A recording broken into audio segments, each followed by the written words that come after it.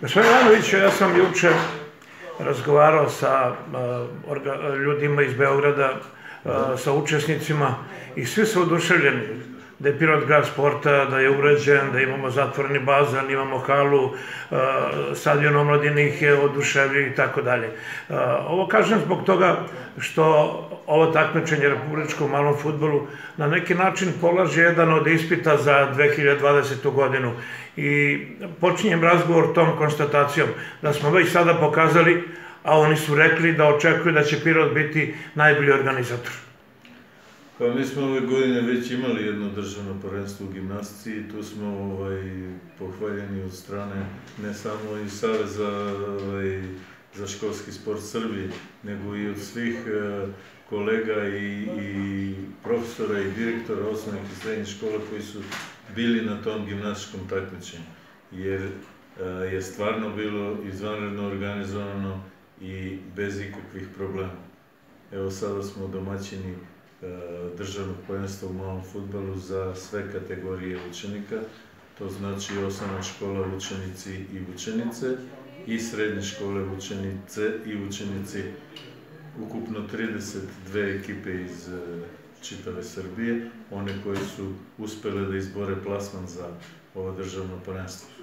Negde smo na polovini takmičenja, danas završavamo e, učenice osnovnih škola, do 13 časova, a u 12 je žreb za uh, učenike srednje škole i njihovo takmičenje kreće u 14 časova danas na Omlenskom stadionu i izuzetno danas u balonu.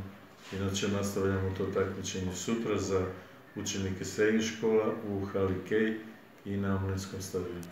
Juče smo bili na stadionu Omladine, Igrane su, boga me, veoma interesantne i kvalitetne utakmice osnovaca. Jeste bilo malo nervoze, ko gubi, on se obično ljuti. E, ovde je igrano e, finale, da tako kažem, a tamo su igrane potom utakmice za od petog do osmog mesta. Da. Nas interesuje naravno da ne bi sve nabrajali ko je prvi, drugi i treći.